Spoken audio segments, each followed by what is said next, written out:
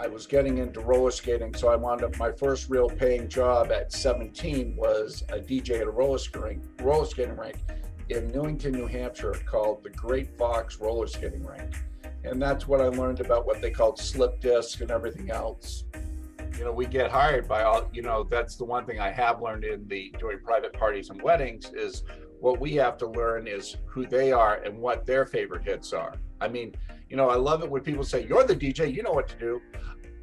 Yes, but you need to take if you're not like if if I'm dealing with the whole Spanish crowd, I'm not going to be playing like rave music. I'll probably be doing like um, you know bachatas and things of that nature. So it's you know you gotta you gotta feel out your clientele and your client to know what direction and what they jam to if you want your company to grow, you need to have a good core management group. And then out of that, having your systems in place. Because once those things are in place, then everything else will follow suit.